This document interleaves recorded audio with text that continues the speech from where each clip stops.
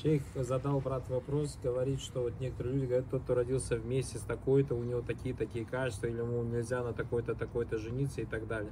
Шейх сказал, подобное, говорит, было, говорит, упомянуто в сунне пророк, саллаху как Айша Радалан упомянул, что у людей в Джагиле был обычай в определенном месте жениться, и в этот месяц пророк саллаху женился на Айше, и она была самой счастливой. Поэтому все это является вера в приметы, это является харамом, является запретом.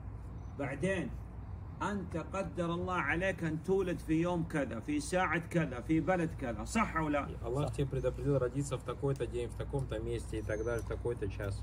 من رضي Кто доволен? له الرضا ترضى بقضاء الله وقدره Тот доволен, то есть тот- тем будет доволен Аллах. وش الفرق بين هذا ولد هذا يوم السبت وهذا ولد يوم Какая الأربعاء разница, ما في кто в فرق какой день недели родился? لا في Нету разницы. كتاب ولا في السنة إلا هذا كله من الكهان Все это от предсказателей и подобных им только. قال عندي ملاحظ Некоторые говорят, я говорит, وكذا обратил внимание, هذا говорит, كله يفتح باب باب السحرة والكهان открывает двери, говорит, как предсказателям и колдунам.